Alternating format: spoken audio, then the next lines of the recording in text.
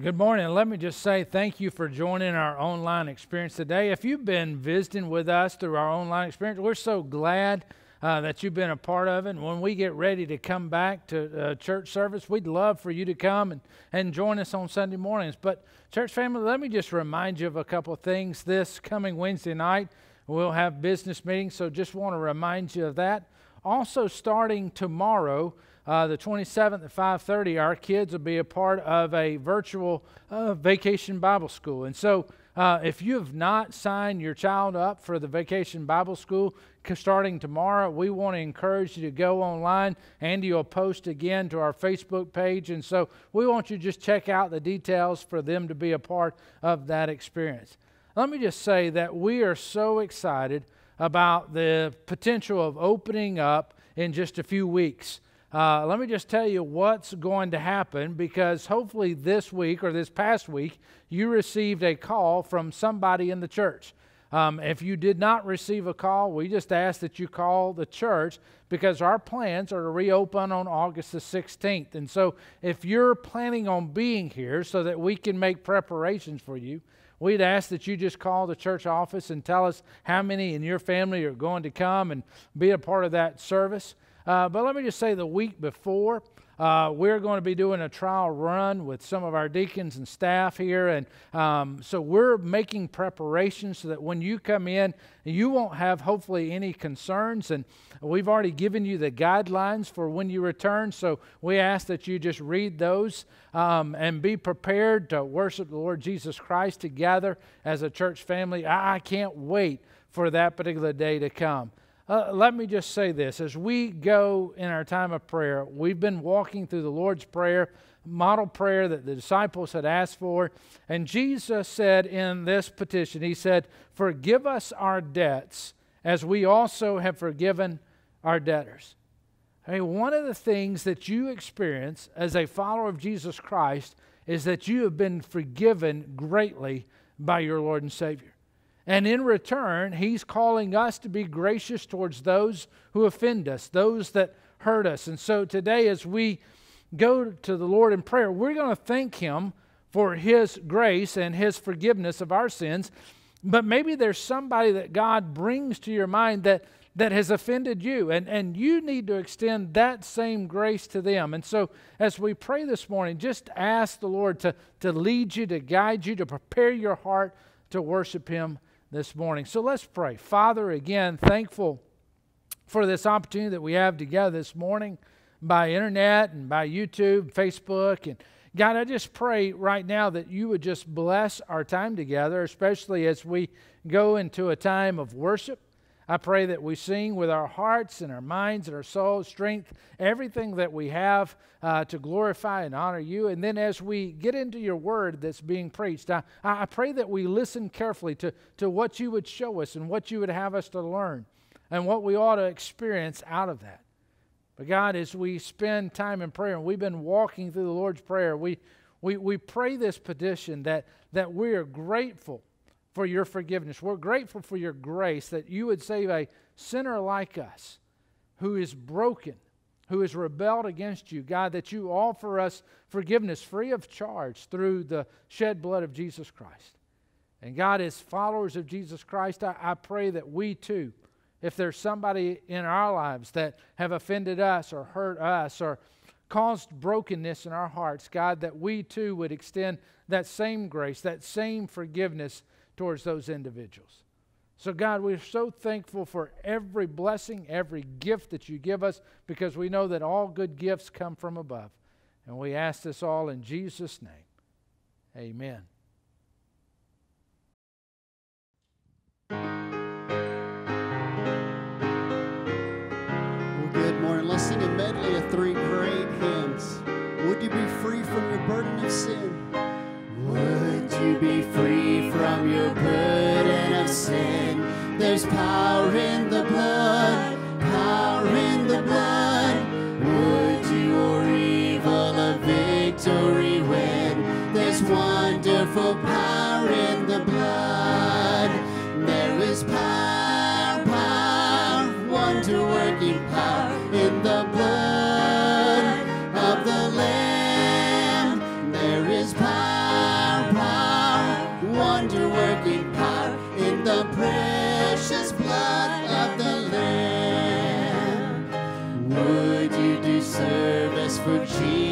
King. There's power in the blood, power in the blood. Would you daily to sing? There's wonderful power.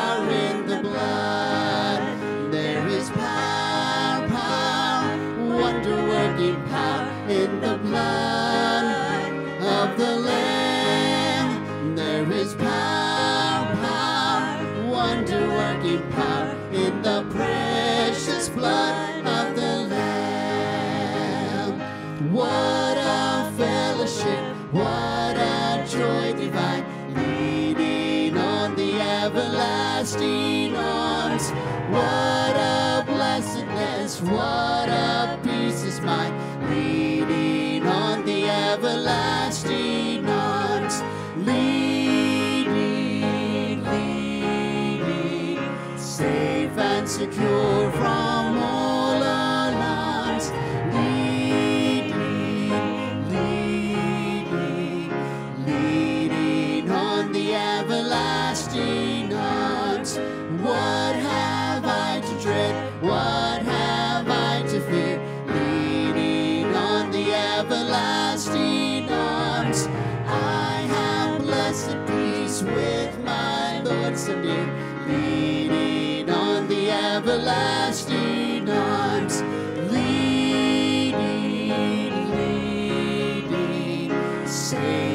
secure from all alarms. Leading, leading, leading on the everlasting arms. I'm pressing on the upward way, new heights I gain.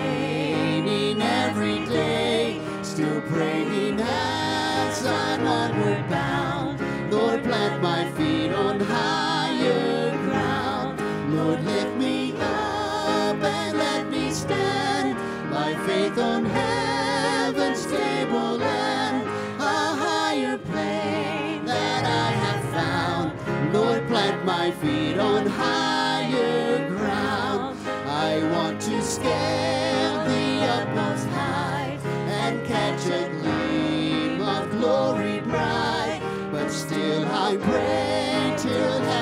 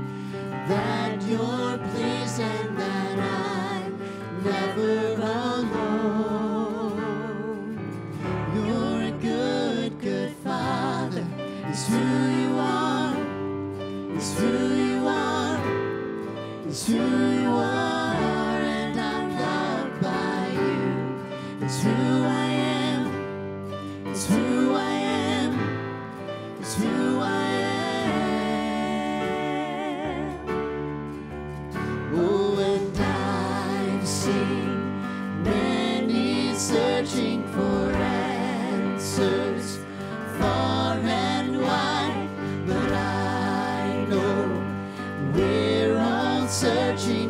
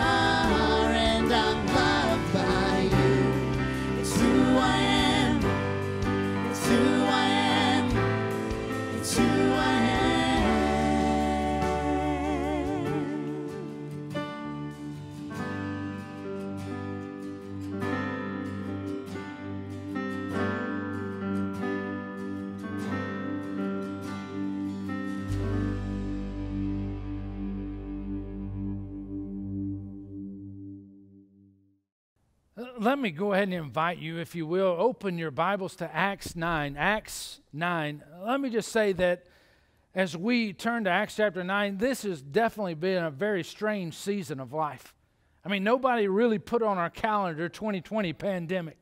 Uh, We didn't think about the COVID 19 virus that has literally not only swept our country, but literally swept around the world.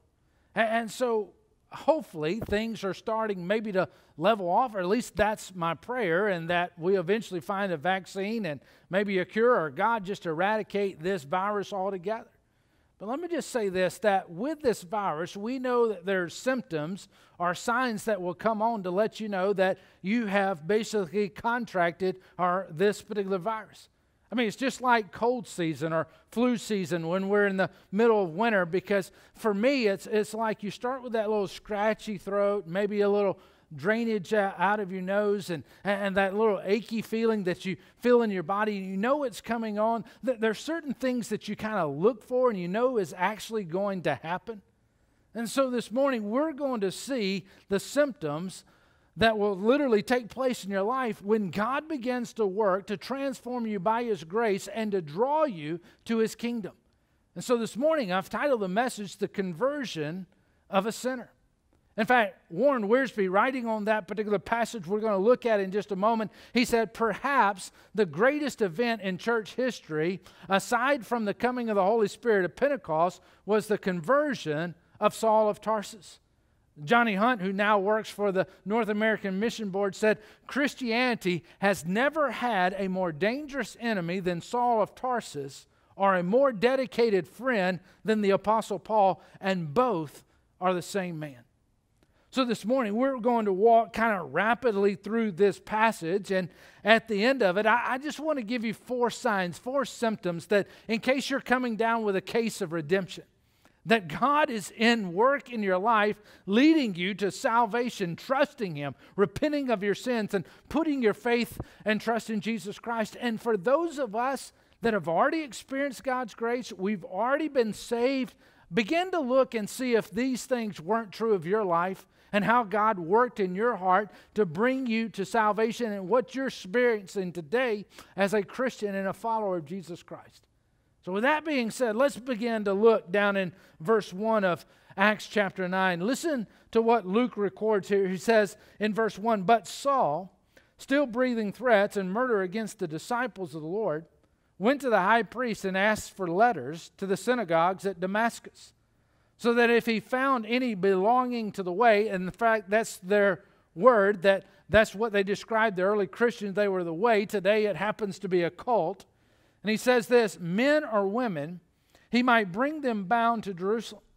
Now, as he went on his way, he approached Damascus, and suddenly a light from heaven shone around him. And falling to the ground, he heard a voice saying to him, Saul, Saul, why are you persecuting me? Now, let me just stop there because do you see the connection that Jesus is making to his church?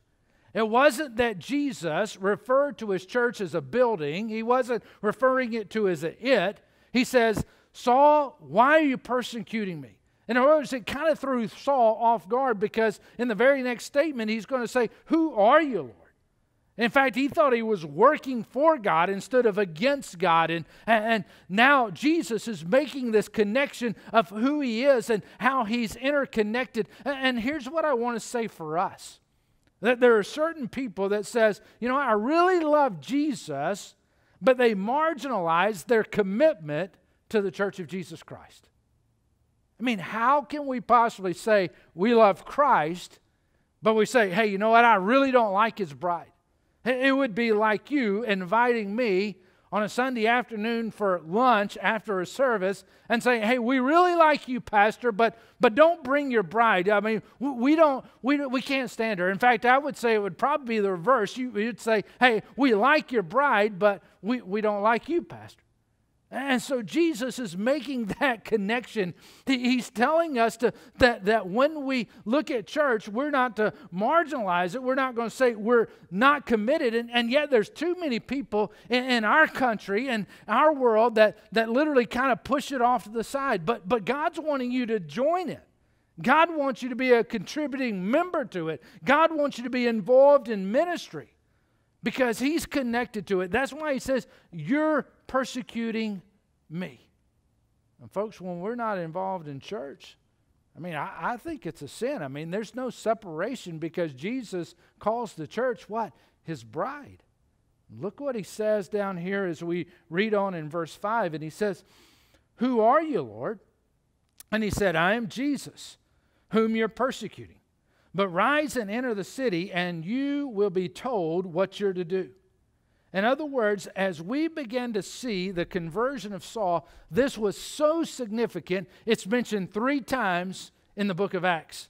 Right here in chapter 9, in chapter 22, when Paul addresses the people of Jerusalem, sharing his own testimony, and then Acts chapter 26, when he stands before King Agrippa. They're trying to find a charge to put him to death, but they find nothing but a squabble between Christians and Jews. And so, here in that particular chapter in Acts 26, there's a phrase right after it says, Saul, why are you persecuting me? And he goes on, he says this It's like you're kicking against the goads. Now, let me just say this. When, when he uses that word goads, not goats, but goads, he's describing a stick with maybe some sharp nails at the very end. And so, for a, a farmer of that day and time to plow a field, maybe with an ox or whatever, when, when an ox didn't move fast enough, there wasn't enough urgency to get the field plowed, that, that the farmer would literally take those goads and, and begin to kind of jab him in the back of the leg, and the ox would basically do what? He, he would kick back against him. Well, spiritually speaking, that's what Paul was doing when God began to work in his life. What were the goads that Paul was resisting? Well, first of all, there was the death of Stephen back in Acts chapter 7. It wasn't that he threw stones, but he was there supervising the death of the very first Christian that we know of in Scripture. And it may have been as he saw this guy die and, and, and how he lived for, for Jesus Christ, it, it began to bring conviction. Maybe it was the way that the Christians were looking at the prophecies of the Old Testament. And maybe he didn't see certain connections and, and it began to bring conviction. Or maybe when he brought him back to prison or he put some to death and, and he saw the joy that was in their heart. Those are the things that he was resisting. And, and, and he was like saying, I'm not going to have any of that. And then verse 7 says here that the men who were traveling with him stood speechless hearing the voice but seeing no one. Let me just say this when it comes to conversion, there can be people that are lost just like you, sitting in the pews next to you, listening to the same sermons, listening to same Christian friends, reading the same books, and all they hear is noise, but you're hearing the voice of God drawing you to salvation in Jesus Christ. Verse 8 says, Saul rose from the ground, and although his eyes were open, he saw nothing. So they led him by the hand and brought him into Damascus. And for three days he was without sight and neither ate nor drank. I mean, here, Saul being named after the very first king of the nation of Israel. And remember who he was. He was Saul. He was head and shoulders, the Bible says, above everybody else. They took him because of his physical, maybe well being. And here he was, the mighty Saul kneeling now at the very feet of Jesus Christ. This one who thought he had saw clearly the, the ways of God, now being led because he's blind from spiritual sight.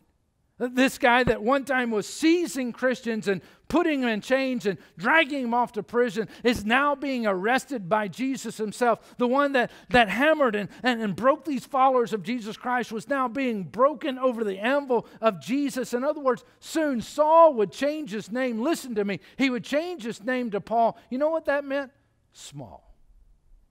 So he's resisting, and he eventually becomes Paul the Small, the mighty man that was rising in the ranks of the religious circles now becomes Paul the Small that we begin to see.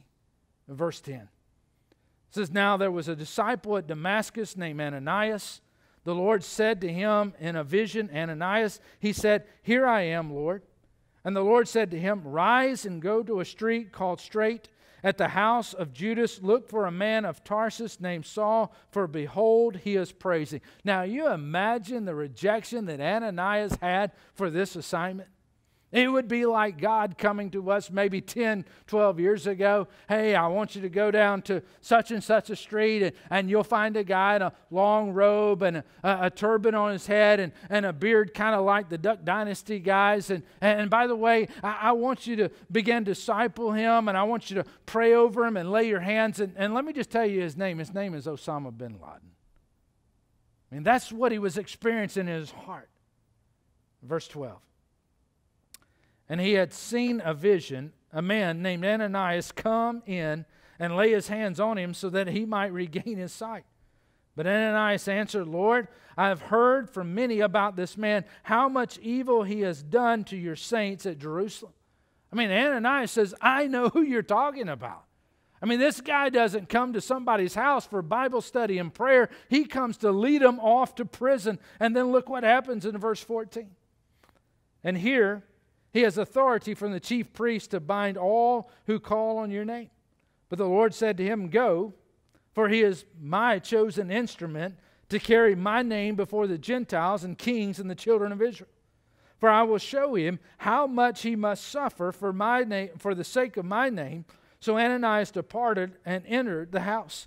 And laying his hands on him, he said, Brother Saul, the Lord Jesus, who appeared to you on the road to which you came, has sent me so that you may regain your sight and be filled with the Holy Spirit. And immediately something like scales fell from his eyes, and he regained his sight. Then he rose and was baptized. Now, folks, that's the story of Saul's conversion.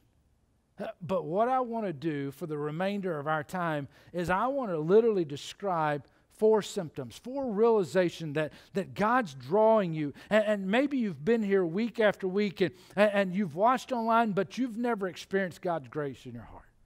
For those that have experienced, let, let's just look back and see if these four realizations, these signs that, that God has given us and, and, and helped us to come to Jesus Christ. So, so let's look at these. Number one, the first realization that, that God may be calling you into his family is that God has has been pursuing you. God has been pursuing you. I mean, just like Saul, he was doing what? Resisting the call of God. And for some of us, have we been resisting? Something's been having. Maybe we've got questions about life. Maybe we've got questions about death or the resurrection of Jesus Christ. Maybe we're asking the question, why am I here? What's my purpose in life? Really, is life worth living for? And those are things that God's trying to draw you to get your attention so that He can show you the answer and offer you hope and offer you help. For some, it may be just the Christian that shows love to you.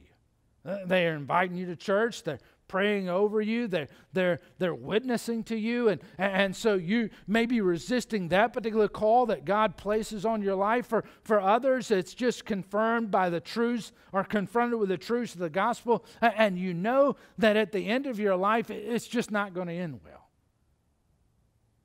C.S. Lewis, who was an atheist literature professor at Oxford, came to Christ. And he literally describes that he was the most reluctant Christian of all times. I mean, he did everything to try to escape what God was doing in his heart before he ever surrendered. Now, we may not like to hear that, but that's who he was. He was just defining that he tried to push against and resist the very call of God of to salvation on his life. He goes on, he writes a series of books called the Chronicles of Narnia, and does a several movies, or they do several movies based on those books. And, and one of those, probably my favorite, is The Voyage of the Dawn Treader. In that particular book, he, he describes a little boy by the name of Eustace. And Eustace now has kind of a hard heart. He is in rebellion and he eventually becomes a dragon. And he really wants to escape being a dragon, wants to become a little boy. And Aslan, who happens to be the lion in the movie, who is a representation of Jesus Christ, leads him to a fountain of pure water to kind of bathe in, and to soak in. And, and some literary, uh, literary scholars will say this is actually a description of what was going on in C.S. Lewis's life. I, want you to just listen to a couple of things from, from that book. He said, The water was as clear as anything, and I thought I could get in there and bathe at it with the ease of pain. But the lion, Aslan, told me I must undress first. So I started scratching myself. My scales began coming off all over the place. And then I scratched a little deeper. Instead of just scales coming off here or there, my whole skin started peeling off beautifully. In a minute or two, I just stepped out of it. I could see it lying there beside me, looking rather nasty. It was the most lovely feeling, so I started to go down into the well for my bath. But just as I was going to put my feet into the water, I looked down and saw that the skin on my feet was all hard and rough and wrinkled and scaly, just as it had been before. It says that Eustace goes on, he basically repeats the process a second time and a third time, growing increasingly despair. And, and the Bible, I mean, the, the, the story says that the lion said, You'll have to let me undress you. I was afraid of his claws. I can tell you, but I was pretty nearly desperate now. So I just lay flat on my back to let him do it. The very first tear he made was so deep that I thought it had gone right into my heart. When he began pulling the skin off, it hurt worse than anything that I ever felt. The only thing that made me able to bear it was just the pleasure of feeling the stuff peel off. When he peeled the beastly stuff right off, just as I thought I'd done myself the other three times, only they hadn't hurt. And there it was lying on the grass, only ever so much thicker and darker and more knobbly looking than all the others had been. Then he caught hold of me. I didn't like much of that much, for I was very tender underneath now that I had no skin on, and threw me into the water. It smarted like anything, but only for a moment. And that it became perfectly delicious. And as soon as I started swimming and splashing, I found that all the pain had gone. And then I saw why. I turned into a boy again. I wonder for how many of us it's a painful process. I'm saying that when God draws us into his kingdom, that he pursues us is not for punishment. It's not the reality that God hates you, but it's the reality that God loves you. In other words, he's not trying to pay you back for all your deeds, evil deeds. He's trying to literally bring you back because he's created you in your own image. So the first thing that we see, the first sign, the symptom is that God's pursuing you. But there's a second sign, a second realization that God is pursuing you and, and God's drawing you to himself, and that is you've been blind. You've been blind. I mean, Paul's blindness was given as a picture of every person that's been separated from Christ. Can, can I just say this? When you think about being blind, th- there are two kinds of blindness. There's, there's that irreligious blindness, and then there's that religious blindness. Let, us talk about that irreligious blindness. it's the reality that, you know what, I believe that my way is better than God's way. I, I just know what's best for me. I can make my own decisions. And when you begin to do that, you pursue a life of sin. You know what the middle letter in sin is? It's I. God, I, I want to do this. God, I, I want to do that. I don't want you really a part of my life. And, and so there's that reality that, that I'm in charge and I'm better than God. Somehow we think that we make better God than, than God actually is. And, and for a while, let me remind you that, that, that sometimes sin can be fun. But over a period of time, what happens is there's a string of broken relationships there's the reality that you're unhappy, and then finally you realize that, you know what, I'm blind. God's not really my enemy, even though I make him out to be my enemy. He's my friend trying to draw me into the kingdom of God. So, first of all, there's that irreligious blindness. But, but here's what Paul had Paul had that second form of blindness, that, that religious blindness. In other words, he thought he was good enough to earn God's approval. If he just tried hard enough, if he could just keep the rules good enough, then God was going to do what? He was going to accept him. Can, can I give you a quick literally uh, theology lesson, you and I are spiritually dead. And because we're spiritually dead, our love for God has actually died. And what has happened is that we've allowed all kinds of things to creep into our lives that we find more important than God Himself. John Calvin, one of the great preachers of years and years ago, he says, The human heart is like an idol factory. In other words, we're constantly coming up with things that basically matter more to us than God Himself.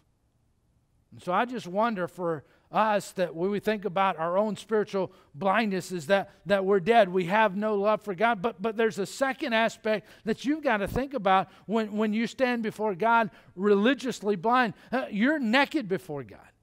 You, you stand naked, there's that shame, there's that guilt, there's something wrong in your heart. And, and let me just ask you, what do you do when you feel naked? I mean, you began to kind of seek clothes, and, and, and the clothes that you began to seek for, for a lot of individuals is, is good works.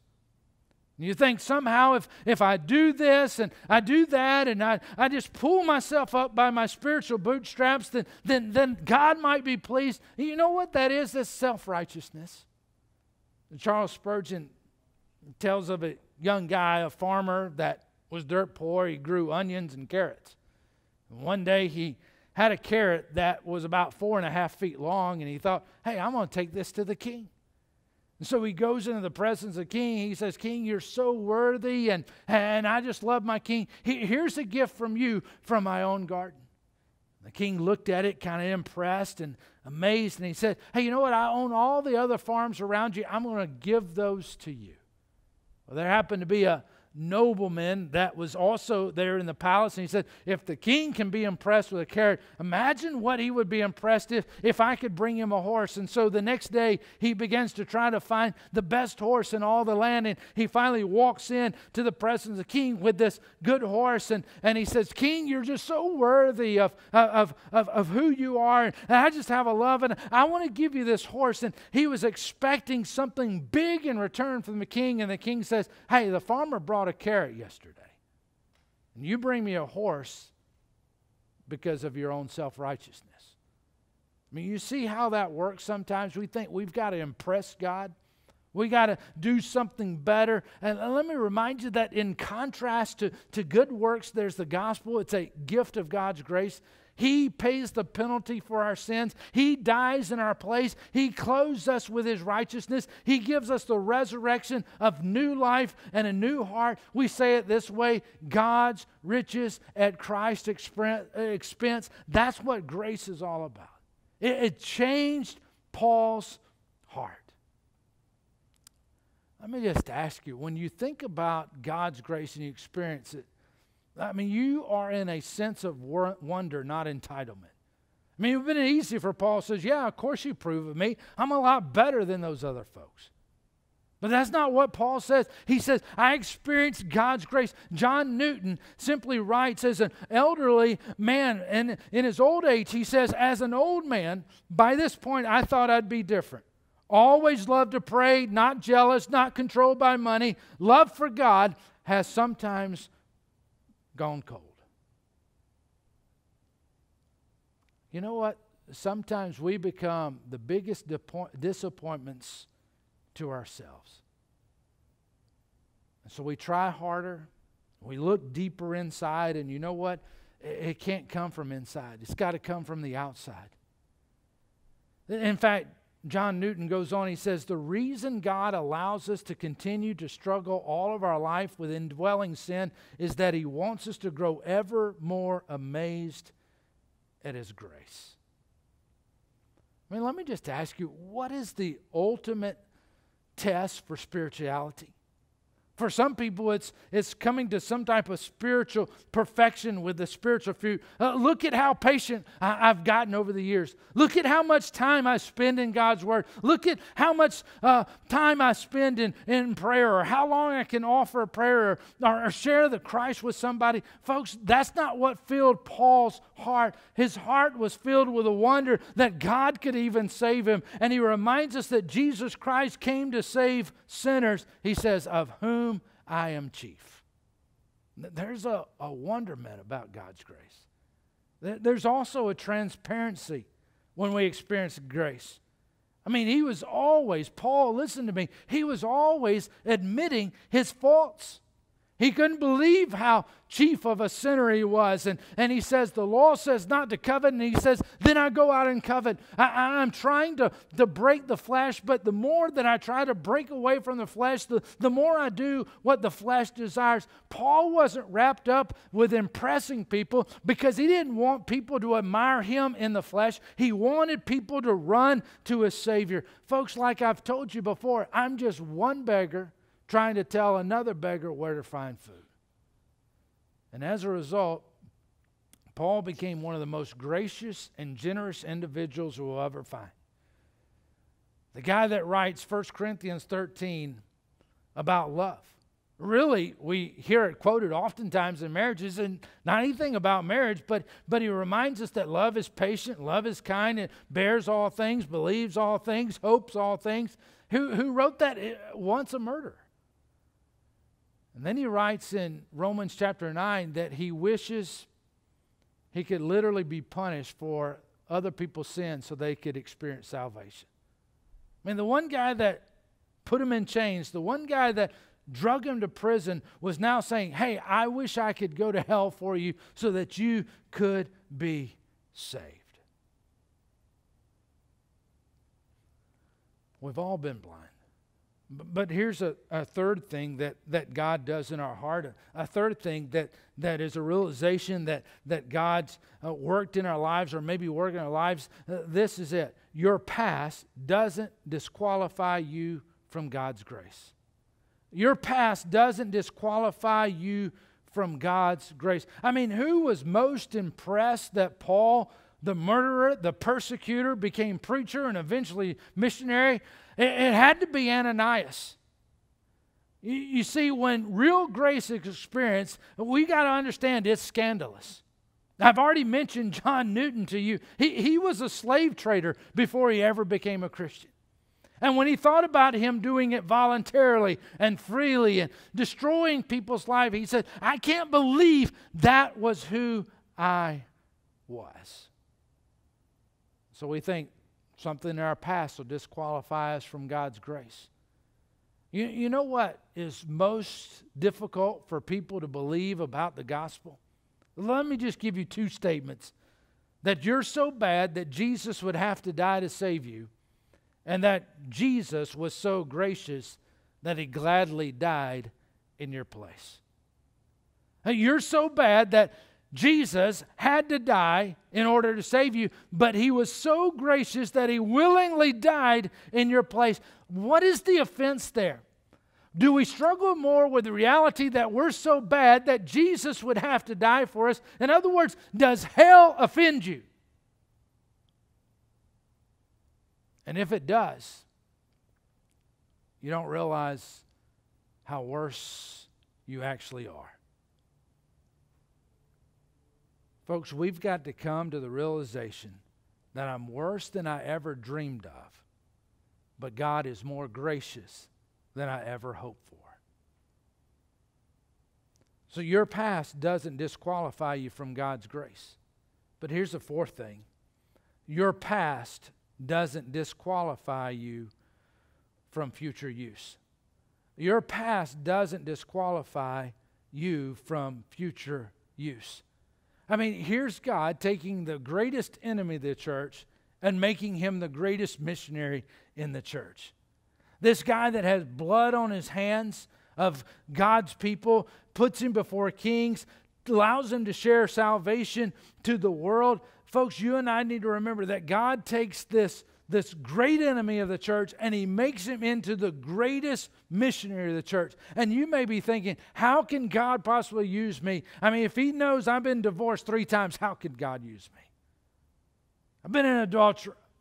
I, have been in drugs. I, have had an abortion, whatever it might be. And we think, you know what, this disqualified us from future use in the kingdom of God. Folks, nothing disqualifies you because God's grace is amazing.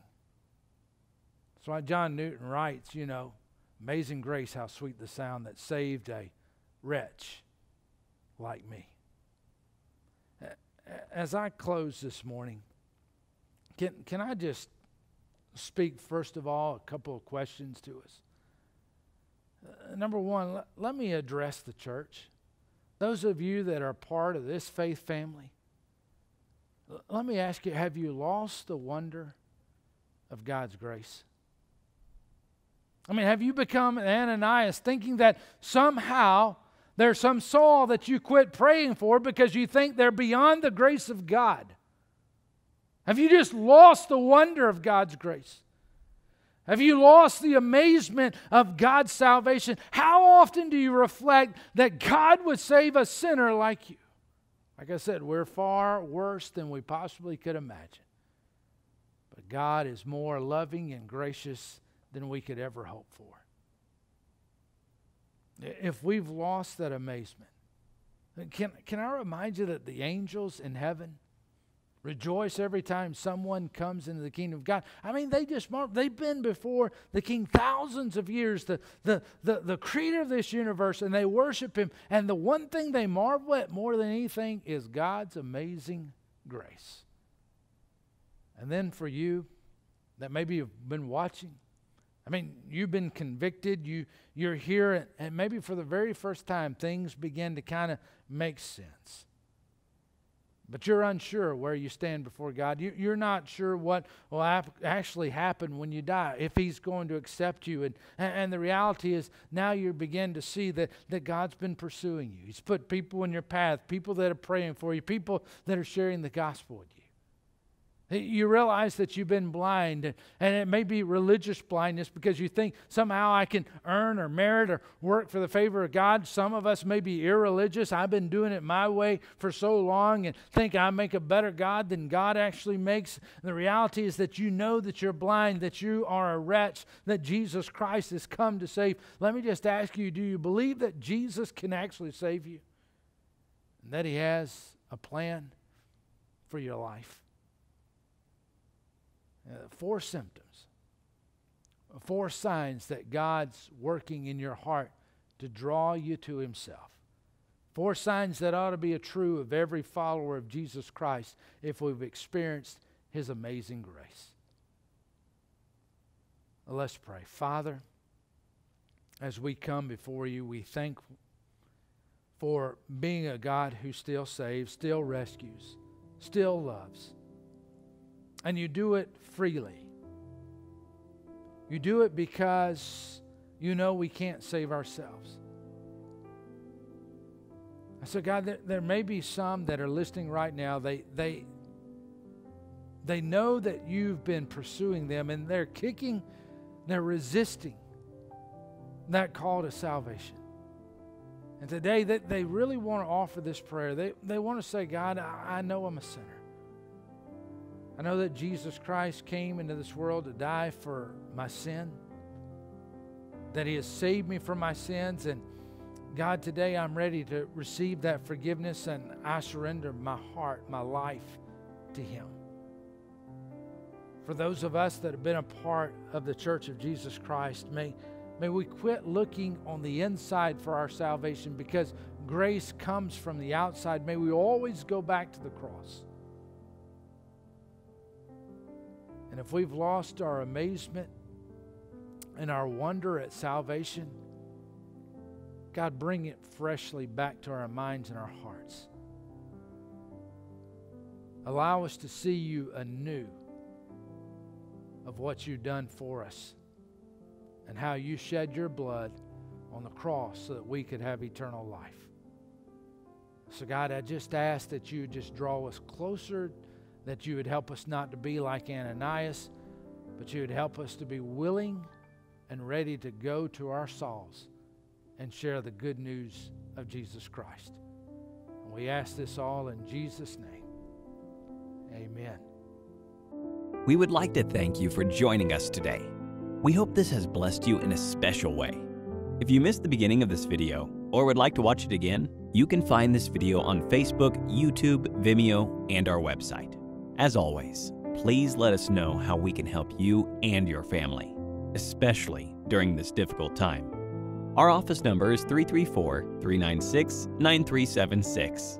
We hope that you have a blessed day